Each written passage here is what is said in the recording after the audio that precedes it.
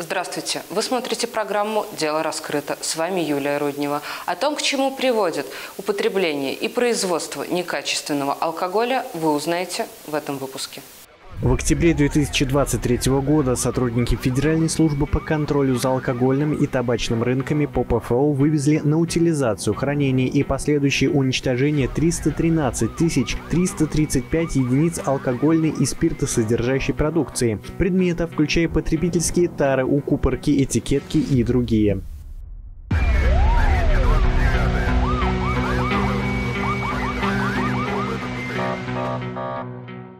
Чаще всего отравление происходит из-за употребления контрафактного алкоголя, который не прошел надлежащую проверку, прежде чем попасть к покупателю. Считается, что бутлегерством в основном занимаются по одному и где-то в пределах собственного дома. Однако встречаются и случаи масштабного производства. Так, в Ульяновской области трое местных жителей вместе с подельником из Кабардино-Балкарской республики организовали незаконный бизнес по изготовлению и продаже контрафактного алкоголя. Производство подозреваемые развернули на территории промзоны Заволжского района Ульяновска.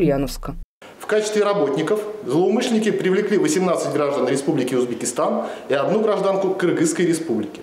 Также сотрудники ульяновских отделений УМВД и УФСБ изъяли у горе-бизнесменов стеклянную тару, картонные коробки, пробки и этикетки с маркировкой известных брендов алкоголя, 139 тысяч бутылок, а также 39 литров спиртосодержащей жидкости и две линии по разливу производительностью 5 тысяч бутылок в час. Две поточные линии позволяли еженедельно отгружать контрафакт для последующей реализации – в ходе предварительного следствия выяснилось, что готовая продукция реализовывалась на территории Центрального и Приволжского федеральных округов. Доход преступной группы составил более 36,5 миллионов рублей. В ходе следствия было назначено и проведено более 50 экспертиз. Компьютерные, почерковедческие, технико-криминалистические, пищевые, физико-химические, судебно-медицинские. В настоящее время расследование уголовного дела завершено и с обвинительным заключением передано в Заволжский районный суд Ульяновска. Обвиняемым может быть назначено наказание в виде лишения свободы на срок до 6 лет. Также по решению следствия троим фигурантам избрана мера подсечения в виде подписки о невыезде и надлежащем поведении, а еще одному, по ходатайству следователя судом, запрет определенных действий.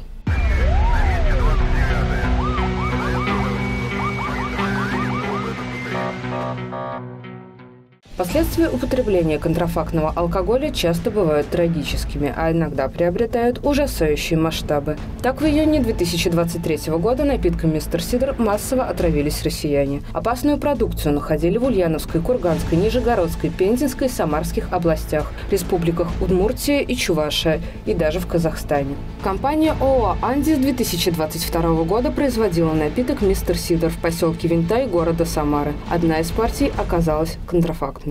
Также установлено, что во время последних закупок, проводимых 31 мая и 1 июня, на алкоголь были переданы только товарно-транспортные накладные, без документов, подтверждающих качество.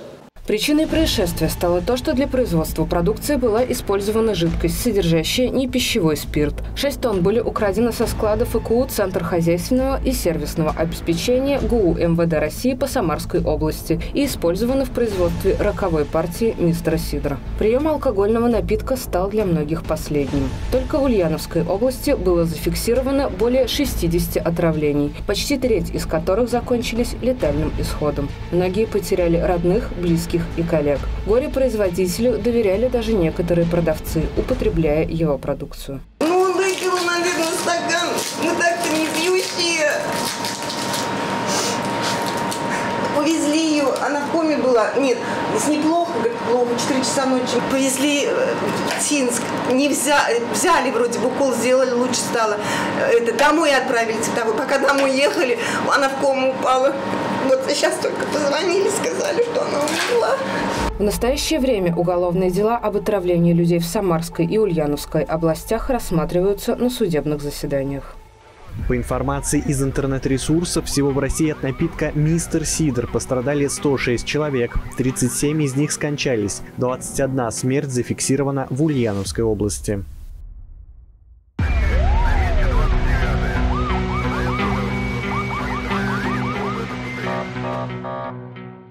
Легальное производство алкогольной продукции подразумевает, что перед тем, как попасть на прилавки, такой товар должен пройти ряд экспертиз. Прежде всего, показателем высокого качества является соответствие ГОСТам. Кроме того, у предприятия должна быть лицензия на производство алкоголя, а у магазина или торговой сети – на продажу. Ввозимое сырье, ввозимый алкоголь должен проверяться не только органолептическим путем, физико-химическим и иметь соответствующий сертификат качества на алкогольную продукцию продукцию. При этом сертификат качества выдается отдельно на каждую партию. А, также в нем указывается а, состав продукта, а, его безопасность для потребителей. И при э, первом, при первой просьбе покупателя, например, о какой-либо алкогольной продукции, мы должны предоставить сертификат качества. Сертификаты должны проверить товароведы или продавцы перед тем, как принять продукцию. К сожалению, работники не всегда бывают добросовестными, а последствия такой халатности трагическими, как в случае с напитком «Мистер Сидор». Поэтому, чтобы избежать подобных случаев, лучше всего попросить документы заранее. Также стоит внимательно выбирать спиртное в магазинах. В первую очередь, по внешним признакам можно распознать брак крепкого алкоголя. То есть этикетка должна быть ровно наклеена. Также закупорка бутылки должна быть. И э, если мы ее разболтыхаем, то будут мелкие пузырьки. Если, опять же, на дне есть э, какая-то муть, осадок, то значит это спирт невысокой очистки. Возможно, это уже идет фальсификация продукции. Э, подняв бутылку вверх дном, мы можем посмотреть на пузырьки, если а, они а, крупные, а потом мелкие, то это качественно, да, продукция. Если, например, наоборот, то продукция ненадлежащего качества. Когда вы уже приобрели продукцию, обратите внимание на ее запах после открытия бутылки. Если вы заметили что-то нехарактерное, лучше от напитка отказаться. Знаменитым способом проверки качества крепкого алкоголя является поджигание жидкости, которую предварительно наливают в столовую ложку. Если в пламени присутствуют оранжевые язычки, это указывает на то, что в жидкости может содержаться этиловый спирт недостаточно высокой степени очистки для употребления. Зеленым горит метил, который смертельно опасен в качестве напитка. Работает способ по нашему опыту только с жидкостями выше 70 градусов. Поджечь 40-градусные напитки без предварительной подготовки не получится. Сначала их необходимо разогреть. В любом случае, пламя качественного алкоголя должно быть синего цвета. Подобные эксперименты лучше проводить перед праздником, когда вы максимально сконцентрированы. Место для проверки тоже лучше выбрать безопасное, например, провести опыт над раковиной на кухне. Сложнее всего проверить качество слабоалкогольных напитков, в производстве которых используются ароматизаторы и красители. Покупая подобную продукцию, особенно на разлив, обязательно обращайте внимание на наличие осадка, а также запрашивайте сертификат качества у продавцов. Покупая алкогольную продукцию, проверьте, есть ли у магазина лицензия на продажу и сертификат на качество конкретной партии. Проверьте визуальный вид товара. Жидкость должна быть закупорена без мути и осадков, за исключением непастеризованной продукции.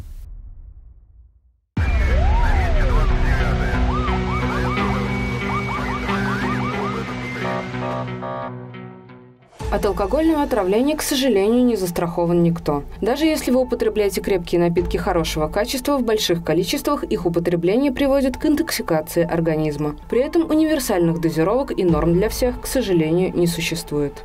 Нормы алкоголя допустимой вообще не существует.